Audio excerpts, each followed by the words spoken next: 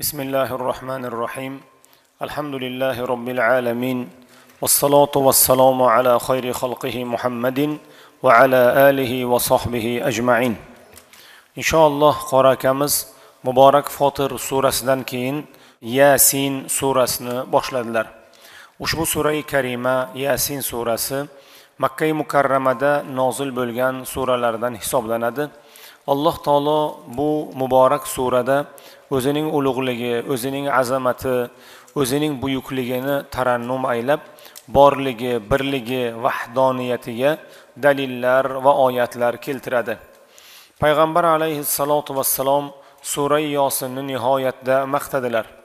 Payg'ambar alayhissalom muborak hadislarida lavadittu innahu fi qalbi kulli rajulin min ummati dedilar. Yosin surasi shunday suraiki men ushbu surani har bir ummatim yod olishini istayman dedilar. Payg'ambar alayhissalomni istaklari bu. Toinki biz mo'min musulmonlar sura yosinni yod olsak. Payg'ambar alayhissalotu vassalom aytdilarki koshkiydi ummatimni hammasini qalbida sura yosin bo'lar dedilar. Hazrati rasuli akram alayhissalotu vassalom yana bir boshqa hadisda ma min amrin asirin yuqrau alayhi suratu yasin illa yassarahullohu taala dedilar. Har bir qiyin ishdan oldin sura yosin tilovat qilinsa alloh taolo u ishni osonlashtiradi deb muborak hadisda aytdilar. Shuning uchun ummatga odat bo'lgan har kuni bomdod namozidan keyin yosin surasini o'qishlik nihoyatda ko'p musulmonlar dunyoda millionlab musulmonlar suray yosinni har ertalab bomdod namozidan keyin tilovat qiladilar. Chunki oldimizda bir kun turibdi oldimizda bizlarni kutib turgan ishlar turibdi. Albatta u ishlarni bajarishda olloh o'zi yordam bermasa bizni o'zimizni kuchi quvvatimiz yetmaydi. Bizni o'zimiz u ishlarga erishmog'imiz ancha qiyin bo'ladi. Shuning uchun har sabohda bomdod namozidan keyin sura yosinni o'qishlik ummatga odat bo'lgan. Biz ham inshaalloh odat qilib olsak har ertalab muborak yosin surasini o'qisak uni o'qishlik uchun o'rtacha o'n daqiqa vaqt ketadi. Inshaalloh shunga odatlansak nihoyatda o'zimizga foyda bo'lgan bo'lar edi. Payg'ambarimiz sollallohu alayhi vasallam muborak hadislarida iqrau surata yasin ala mavtakum deb marhamat qiladilar. Kimniki ahvoli og'irlashsa oxiratdan unga darak kelib qolsa yosin surasini o'qisin deb payg'ambar alayhissalom aytadilar. Shuning uchun o'sha paytda yordam kerak bo'ladi. Sura yosinni o'qishlik uni mushkilini osonlashtirishga manfaat beradi deb hazrati payg'ambarimiz sollallohu alayhi vasallam muborak hadisda aytgan ekanlar. Yosin surasi tavhid surasi e'tiqod surasi aqoid surasi shuning uchun sabohda o'qiladi. Toyinki bandani e'tiqodi mustahkam bo'lsin aqoidi mustahkam bo'lsin toyinki banda kun bo'yi mustahkam e'tiqodda hayot kechirsin. Mana shuning uchun azizlar bu surani yodlamog'imiz bunga odatlanmog'imiz har birimizni musulmonchilik odobimizdan axloqimizdan hisoblanadi. Muhtaram azizlar bu kunlardagi tarixiy voqealardan ko'p mufassirlarimiz ko'p tarix olimlari aytadilarki katta janglardan aynu jolut degan jang aynan ramazonning mana shu kunlarida bo'lgan deb aytgan ekanlar. Aynu jolut jangi qachon bo'lgan qanday bo'lgan nima uchun bu jang tarixga kirgan nima uchun bu jangni tarix oltin harflar bilan yozadi. Ma'lumingiz kim? bir ming ikki yuzinchi yilni avvalida mo'g'ul bosqinchilari chingizxon boshchiligida bir necha marta xitoyga hujum qiladilar. Xitoyga bo'lgan hujumlari muvaffaqiyatsizlikka uchragandan keyin ular o'rta osiyo tomon yuradilar. O'rta osiyo tomon yurib xorazm shoh davlatiga buxoroga va sharqiy va g'arbiy turkistonga hujum qiladilar. Chingizxon bu safarlari muvaffaqiyatli bo'ladi. Xorazmshohga hujum qiladi. O'sha paytdagi mintaqadagi eng katta davlat xorazm shohlar davlati nihoyatda avjiga chiqqan bo'ladi va o'z navbatida kibr manmanlik va xudparastlik domiga tortilgan bo'ladi. Va aytadilarki olimlar eng katta xatolaridan ayollarni o'zlariga rahbar qilib qo'yib ularning amriga itoat qiladigan davlatga aylanib qoladi. Ular ya'ni mo'g'ullar o'rta osiyoga hujum qiladilar. G'arbiy va sharqiy turkistonga. Bu yerlar hazil davlat bo'lmaydi.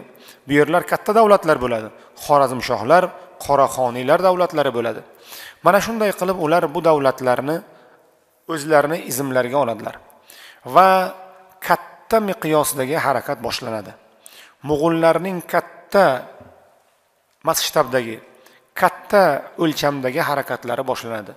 Mo'g'ullarning bu bosqini butun sibirni deyarli o'z domiga tortadi. Moskva polsha ostonasigacha boradilar. Bolqonga tushadilar anadoliga kiradilar. Bu o'rta osiyodan borib eronni usti bilan iroqqa tushadilar. Iroqdagi xalifalikni abbosiylar xalifasini yer bilan yakson qiladilar. Deyarli katta imperiyani yaratadilar.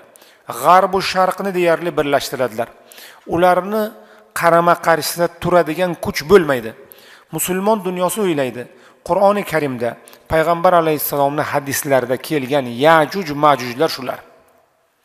Qiyomatni katta alomatlaridan xitoydan yajuju majuj chiqadi. Yajuju majuj degani bir jonivorlar bir odamga o'xshagan narsalar.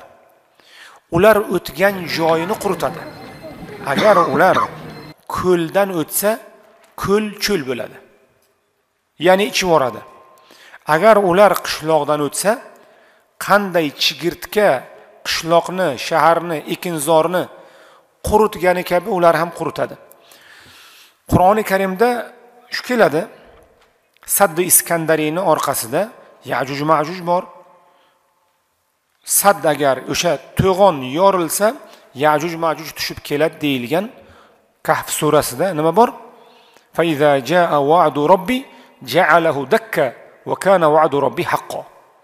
Xudoy taoloni izni kelsa iskandar zulqarnayn yopgan to'g'on qaytib ochiladi yajuj majuj chiqadi. Islom dunyosi o'yladiki demak qur'oni karimda kelgan yajuju majuj shular. Bizni mintaqamizni butun mintaqalarni yoqib yuboradilar. Hech narsa qoldirmaydilar. Amudaryo amudaryo ikki oy qop qora siyoh bo'lib oqadi. Chunki ular marvdagi va omuldagi kutubxonani oqizib yuborgandilar. Bu butunligicha ikki oy. Mana shunday bo'lib ular demak shomni oladilar. Hozirgi turkiya suriya iroq eron hammasini oladilar va quddusni yaqiniga borib quddusni yaqiniga borib bir joyga to'xtaydilar. Demak o'sha yerga chegaralari bo'ladi. Chegarani u yog'ini misr sultonlari boshqarar edilar. U yog'i demak misr suvaysh va misr. Misrdan keyin u yog'i shimoliy afrika to andalusiya ispaniyagacha o'sha payt misr shohi muzaffar qutuz bor yo'g'i qirq ming askari bo'lgan. Ahvoli uncha yaxshi bo'lmagan. Mo'g'ullarning esa taqriban ikki yuz ming askari bor edi. Ikki yuz ming askari. Va eng katta muammo mo'g'ul askarini nafsoniy ruhiy tayyorgarligi zo'r edi. Chunki biror marta mag'lub bo'lmagan askar. O'n ming kilometr joyni bosib o'tgan biror marta mag'lub bo'lmagan. Uning ustiga yevropa xristianlari ham ularga qo'shilgandilar.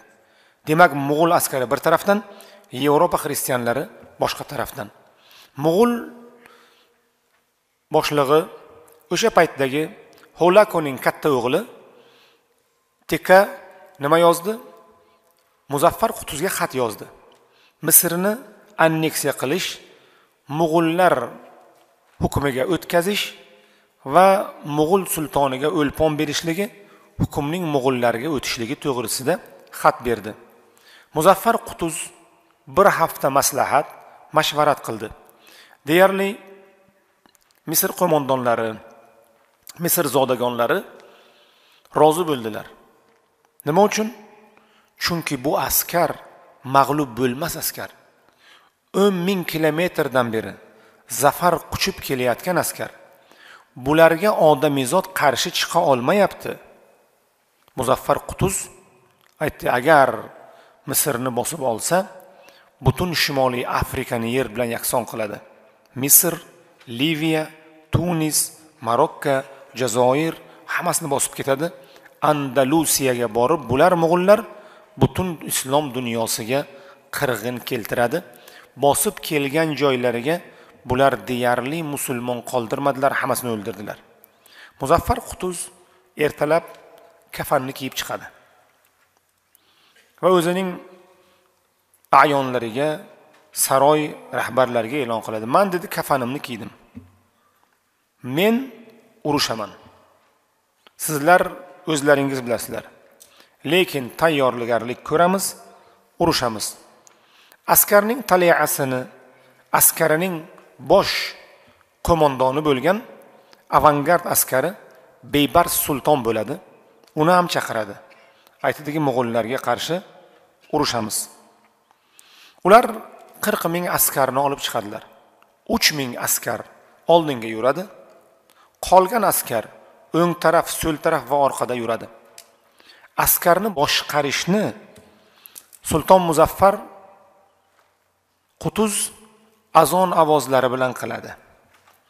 Azon ovozlarini yangrashi bilan askar boshqariladi. Qur'on ovozini yangrashi bilan askar boshqariladi. Va askarlarini kelib shomning aynu jolut degan joyga joylashtiradi. Aynu jalut jolut qudug'i degan joyga. Ertalab jang boshlanadi. ikki yuz ming askarni mo'g'ul bosqinchilari qo'yadi. Qirq ming askar musulmon askarlari unga qarshi chiqadi. Muzaffar qutuzni o'zi askarni oldida qilich dubulg'a bolg'a bilan chiqadi. Sulton beybars ham askarni avvalida o'zi bo'ladi.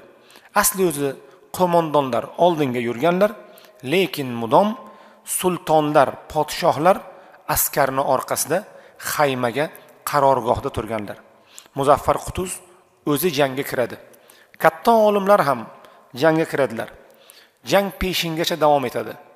Muzaffar qutuz bilan sulton bebars sayfiddin bebars askarni joylashtiradilar. Askarga pistirmalar qo'yadilar va peshinga borib musulmon askari orqaga chekina boshlaydi. Orqaga chekina boshlaydi. Mo'g'ul askarlari ikkinchi tarafdan ularga yordamga kelgan nasroniy yevropa xristianlari hujumga o'tadilar.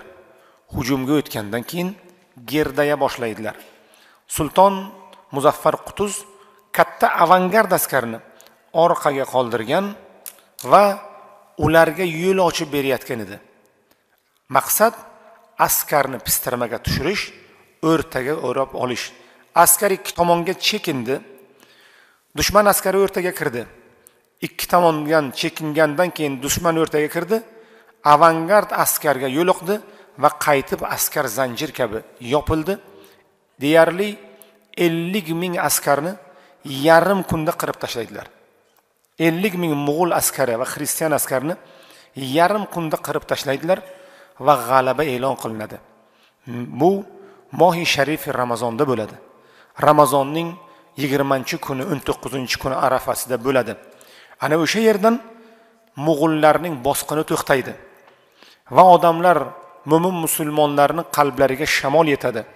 Bular yajuj majuj emas bular yengilmas askar emas bular bizga o'xshagan odam ekan. Ana o'shandan mo'g'ullarning chekinishi va bir qismining islomga kirishi boshlanadi. Ana o'sha bilan muzaffar qutuz sulton beybars islom dunyosiga nihoyatda katta xizmat qilgan bo'ladilar. Umrga arzigulik asrga arzigulik ishlarni qilgan bo'ladilar. Nima uchun?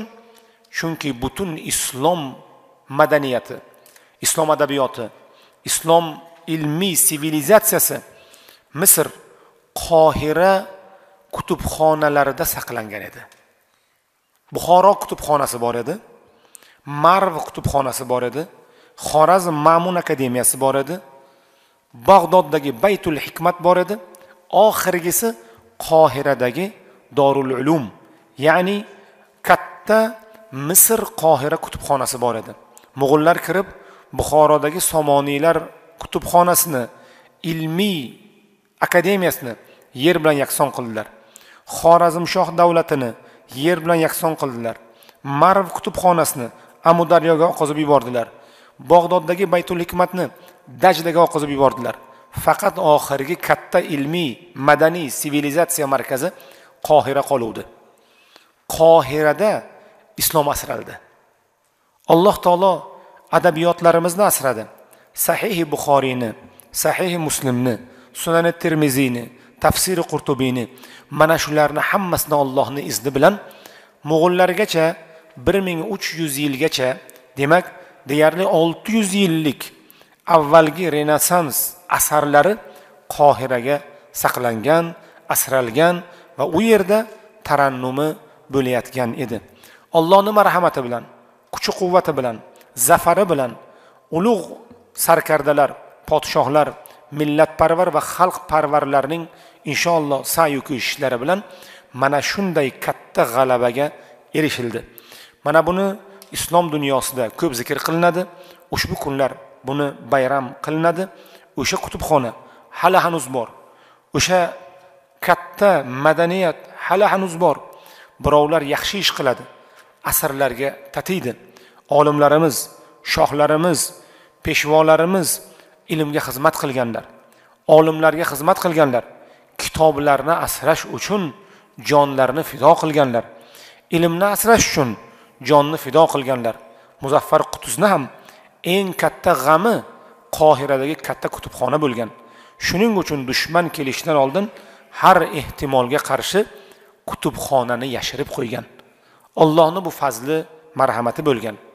Bugungi kunlarda albatta ramazoniy kunlar duolar qabul bo'ladigan lahzalar o'tganlarimizni haqlariga ilmga diyonatga talaba ilmlarga xizmat qiladiganlar haqlariga duo qilmog'imiz darkor.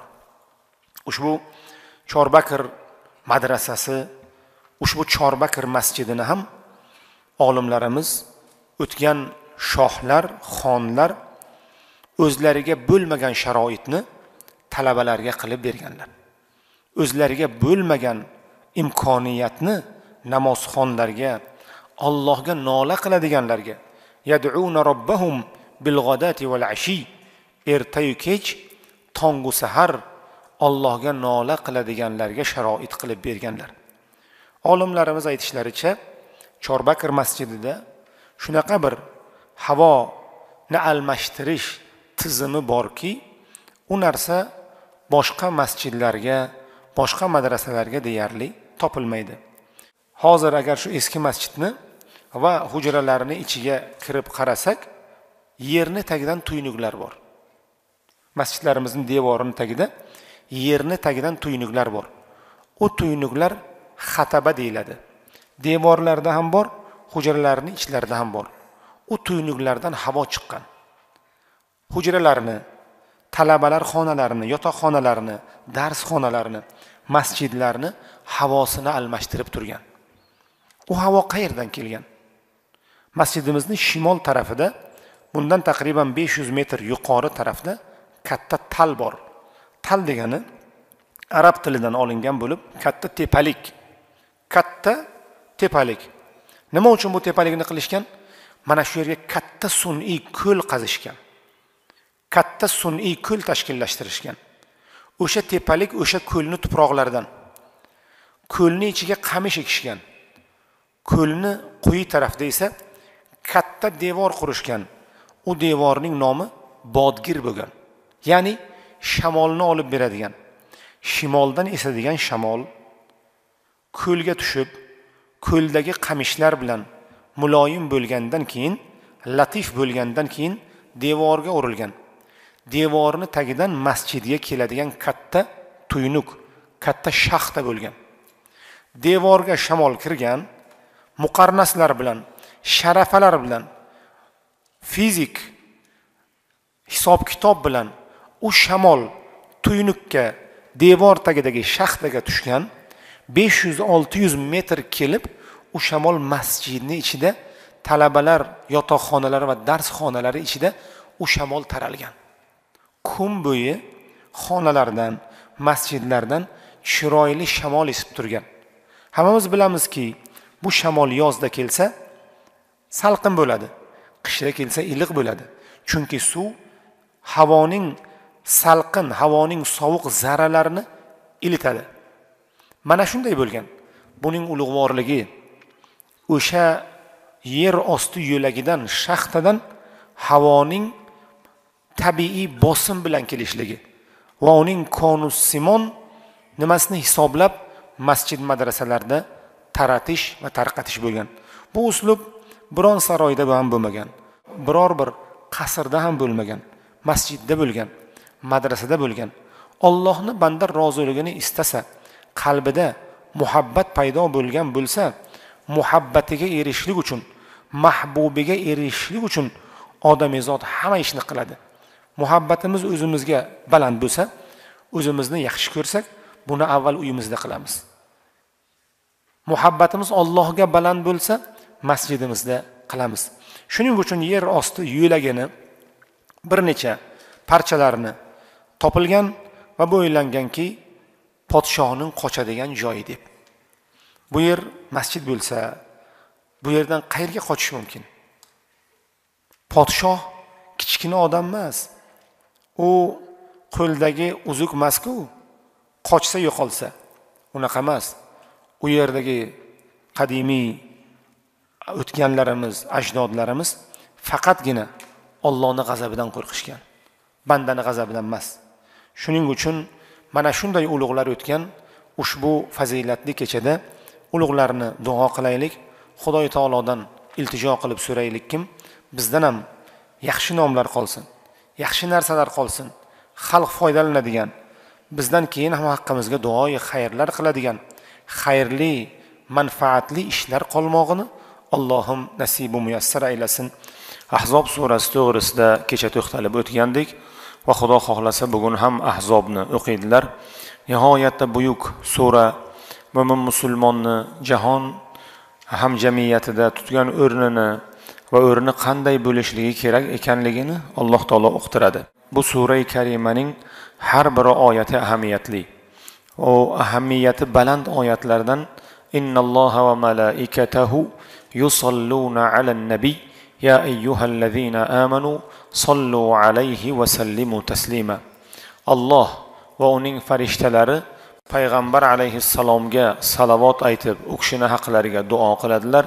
Ey mo'min musulmonlar payg'ambar alayhissalomni haqlariga duo qilinglar salovat o'qinglar deb olloh marhamat qiladi. Salovat degani nima degani? Duo degani. Ollohni duosi payg'ambar alayhissalomni ulug' sifatlar bilan nomlash zikr qilish mo'min musulmonlarni bizni sizni payg'ambarimizga salavotimiz payg'ambarimizni yaxshiliklarla zikr qilmog'imiz u kishini haqlariga duo qilmog'imiz. Ahzob surasida alloh taolo ro'molning hijobning farz ekanligini payg'ambar alayhissalom va barcha mo'min musulmonlarga uqtirib hijob bu arablarning libosi emas arab urfi odati emas. Hijob ya'ni ayollar erkaklar alloh taolo buyurgan avratlarni yopib yurmoqliklari ollohning dinining bizni sizdan bo'lgan talabi. Erkaklar ham muayyan avratlari bor yopib yurishlari kerak. Ayollar ham inchunin avratlarini yuzlari va ikki qo'llaridan kaftlaridan boshqa avratlarini yopib ro'mol o'rab yurishlari kerak ekanligini alloh taolo ushbu surada uqtiradi. Yana ushbu surada alloh taolo hijobni farz qilganidan keyin mo'mina muslima ayollar avratlarini yopib yurishlarini amr qilib aytgandan keyin ellik sakkizinchi oyatida والذين يؤذون المؤمنين والمؤمنات بغير ما اكتسبوا فقد احتملوا بهتانا واثما مبينا deb Alloh marhamat qiladi ogoh bo'linglar hushyor tortinglar mo'min va mo'minalarni mo'min musulmonlarni qilgan ishlari uchun emas qilmagan ishlari uchun aziyat beradigan ularning mo'minliklari uchun ularga ozor beradiganlar ehtiyot bo'lsinlar katta bo'xton qilibdilar katta gunohga ko'milibdilar deb alloh marhamat qiladi. Mo'mina muslima ayollar mo'min erkaklar toat qilsalar ibodat qilsalar darhol ularni ayblash darhol ularni yomon otliqqa chiqarish ularni haqlariga badgumonlik mo'min musulmonni ya'ni badgumon odamni nihoyatda tang holatga soladi. Alloh taolo panoh bersin uni bo'htonchiga chiqaradi. Payg'ambar alayhissalotu vassalom aytadilar hamsu mubiqot. Halokatga etguvchi besh omildan saqlaninglar. Shulardan biri qazf al muhsanat al mu'minat al g'ofilat ma'siyatdan fahshdan umuman xabari bo'lmagan pok domonlarni yomonlikda ayblash deb payg'ambar alayhissalom marhamat qilib aytadilar. Shuning uchun inshaalloh rahimallohu raan ishtag'ala biuyubihi an uyubin nas ollohni rahmati bo'lsin. Shunday odamlargaki odamlarni aybi bilan emas o'zining aybini islohi bilan mashg'ul. Ba'zi odamlar tili bilan yuradi. Bir kishi ro'mol o'rasa namozga kirsa darrov uni haqqiga noto'g'ri gaplarni gapiradi. Bir odam namoz o'qisa namoz o'qib masjidlarga kelsa darrov uni orqasidan gapiradilar. Bilamiz nima qilib yurgandi. Shu paytgacha to'ymay to'y yurgandi. Shu paytgacha ichib yurardi. Shu paytgacha so'kib yurardi. Va hokazo va hokazo bo'htonu tuhmatlarni qiladilar. Vaholanki uni hisob kitobi bizga emas. Uni mezonda amallarni o'lchash bizga emas. Ollohga olloh o'zi biladi. Bandasiga olloh hidoyat bergan bo'lsa tavfiq bergan bo'lsa bandasini to'g'ri yo'lga boshlagan bo'lsa allohga hamd aytaylik havas qilaylik alhamdulillah masjidga boradigan bo'libdi bizga ham olloh nasib qilsin deylik o'zimizga tavfiq so'raylik to birovni ayblaguncha. Yo bir ayol ro'mol o'rasa bir hijobga kirib bir to'g'ri yo'lga tushsa darrov aytishadi bu ro'moliga ishonmang bu ro'molliklarga ishonmang va hokazo deyishadi. Alloh panoh bersin olimlar aytadilar kimiki pokdoman ayollarga ro'molli ayollarga tosh otadigan bo'lsa til tegizadigan bo'lsa avlodidan olloh to buzuq ayol chiqarmasa uni jonini olmaydi deydilar alloh panoh bersin. Bu hayot tajribasi bu. Bu hayot tajribasi. To o'shani avloddan bir buzuq ayol chiqmasa olloh o'shani jonini olmaydi deydilar odamni obro'yi odamni sha'ni nihoyatda qimmat xususan iymonga kirsa islomga kirsa tadayyunga kirsa. Shuning uchun azizlar ramazoniy kechalarda turibmiz. Allohdan iltijo qilib so'raymiz. Allohdan tavallo qilib so'raymiz. Agar birovni haqqiga gapirgan bo'lsak nojo'ya tilimiz tegib ketgan bo'lsa nojo'ya qo'limiz tegib ketgan bo'lsa alloh hammamizni kechirsin. Gunohlarimizni afv qilsin. Mag'firat kechasining oxirgi kechalarida turibmiz. Alloh hammamizni mag'firat aylasin. Alloh hammamizni gunohimizni kechirsin. Birov namoz o'qiydigan bo'lsa birov ro'molga kirgan bo'lsa olloh biladi uni qalbida nima bor. Payg'ambar alayhissalotu vassalom zamonlarida bir kishi aroq ichadi qo'lga tushadi va u darra bilan uriladi. Shunda sahobai ikromlardan birlari ya aduvalloh deydi. Ey ollohni dushmani deb unga dashnom qiladi. Payg'ambar alayhissalotu vassalom bundoq demagin innahu yuhibbulloha va rasulahu deydilar. U olloh bilan rasulni yaxshi ko'radi deydilar. U ollohni yaxshi ko'radi rasulni yaxshi ko'radi. Musulmon bir adashibdi biri adashadi. Inshaalloh qalbiga iymon nuri bo'lsa albatta tavfiqga hidoyatga keladi. Hazrat umar hayyom aytganlaridek kunlar kelib ko'rarmiz beshak minganimiz otmikan yoki eshak xudo biladi kimni amali qabul bo'ladi. Biz namoz o'qiymiz ro'za tutamiz ibodat qilamiz. Ayollarimiz ro'mol o'raydi. Nima uchun? Olloh aytgani uchun. Robbim shunday dedi. Buyurdi. Uni buyrug'iga labbay deb javob beramiz. Qabuli ollohga ollohdan iltijo qilamiz. Ollohdan so'raymiz. Vallazina yu'tuna va qulubuhum vajila. Olloh ularga buyurgan narsani zakotni beradilar. Yana qalblari titrab turadi. Musulmon deydilar bir ibodat qilsa yomg'irga qolgan ivigan qushchaga o'xshaydi.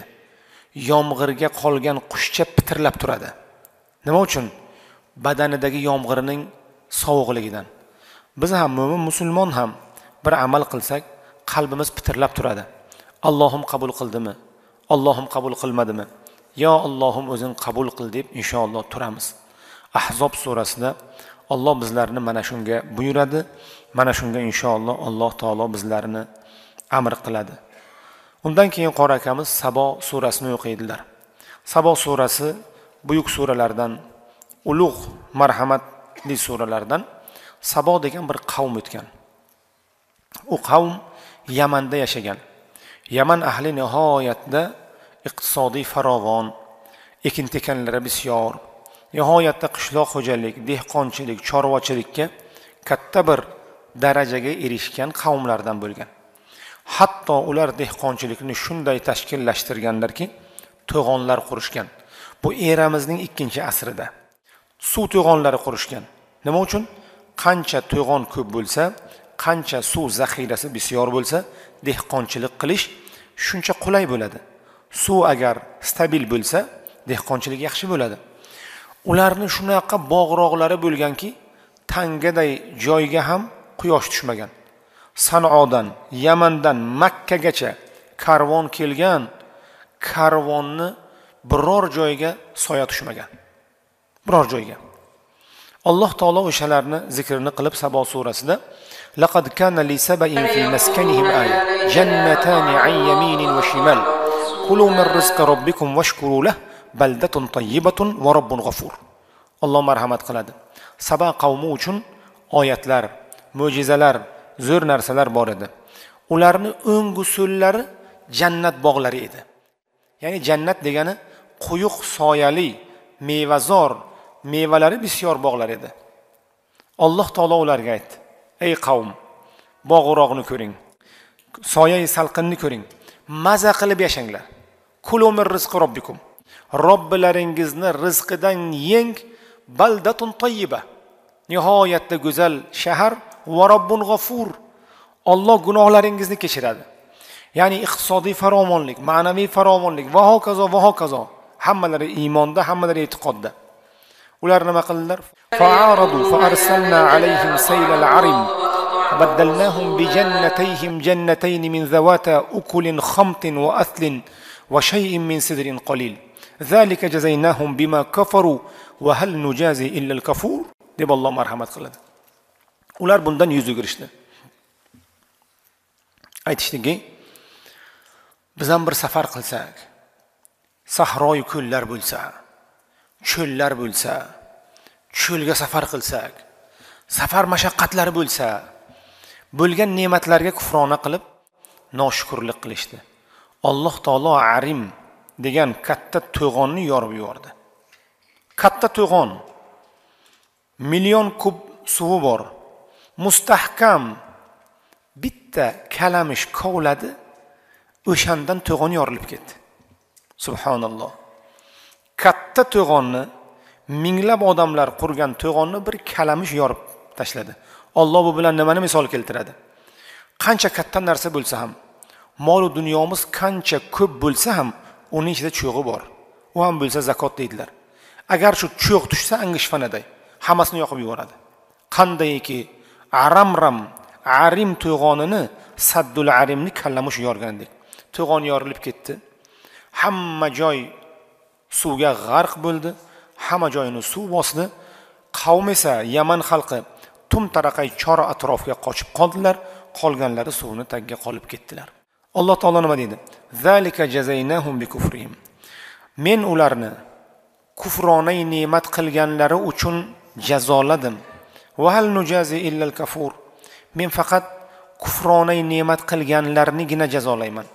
Banda shukur qilib tursa ne'matlarni ollohdan so'rab tursa bor ne'mat ollohdan ekanligini bilib uni shukronasini ado qilib tursa men uni azoblamayman deydi olloh kufronay ne'mat qildiki ne'matlarni ko'rolmadiki tejamkorlikdan uzoq bo'ldiki isrofga qo'l urdiki ana endi uni jazolayman deydi. Hammasini olib qo'yaman. Olloh panoh bersin. Alloh taolo bu sabo surasini bizga keltirib ne'matlariga shukrona qilishlikka bizni chorlaydi. Shukrona degani ne'matlarni ollohdan deb bilib bularni davomiy bo'lishligini ta'minlaydigan sabablarni ko'rishligimiz.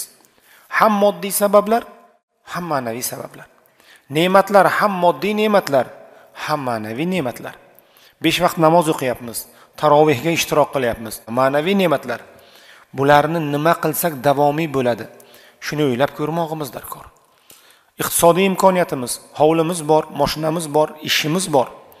Buni shukronasini qilishmog'imiz darkor. Buni ollohdan deb bilishligimiz kerak.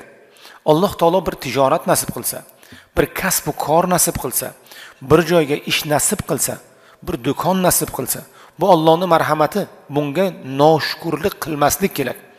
Sabru toqat qilib zakotini berib ehsonini berib odamlarni xizmatini qilib bunga bardavom bo'lishlik kerak ekanligini alloh taolo uqtiradi.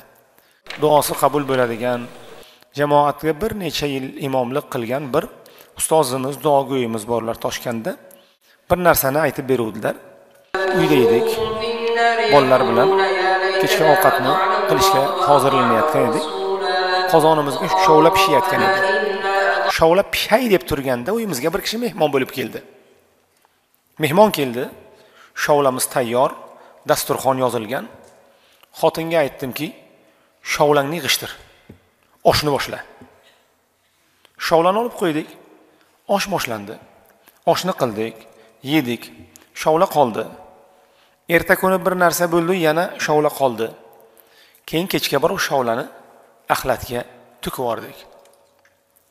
Bir necha oy o'tar o'tmas taqdir ilohiy bilan qamoqqa tushib qoldim. Qamoqqa tushib qoldim.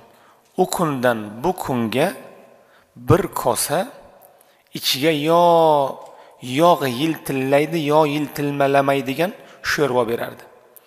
Ko'z oldimda o'sha shovla o'tardi.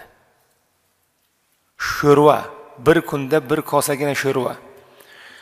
Bildim bu kun nima uchun? O'sha shovlaga noshukurlikdan. O'shanga noshukurlikdan. Orzu qilardim. Koshki bir tavoqcha shovla berganida. O'sha qamoqxonani ichida shunaqa shovlani sog'indim. Bildimki banda ne'matga noshukur bo'lsa alloh taolo u ne'matga o'shani xor qilar ekan alloh taolo sabo surasiga shuni keltiradi. Tejamkor bo'lmog'imizni har bir narsaga shukrona qilmog'imizni olloh bizga uqtiradi. Noshukurligimiz ko'paysa alloh taolo bu ne'matlarni bizdan olib qo'yadi. Alloh panoh bersin. To'qsoninchi yil arafasida sobiq tuzumni oxirgi paytlarida nonni hamma xor qiluvdi. Mollari yerdi va hokazo va hokazo bu yerdagilar biladilar. Undan keyin qanday non tahchilligi do'konlarga qog'ozga kartga narsa beradigan holat bo'lib qoldi. Bugungi kunlarda ham nozu ne'matlarga noshukurlik qilmaylik. Dasturxonlarimizga to'y marosimlarimizga qaraylik. Haddan oshmaylik. Alloh taolo haddan oshganni o'zi jazolaydi. Vahal nujazi illal kafur kofirlarnigina man jazolayman deydi olloh biz bir ne'matga erishsak bir narsa qo'limizda bo'lsa o'ylaymizki asli shundoq bo'lishi kerak. Va shunday bo'ladi. Bu bardavom bo'ladi.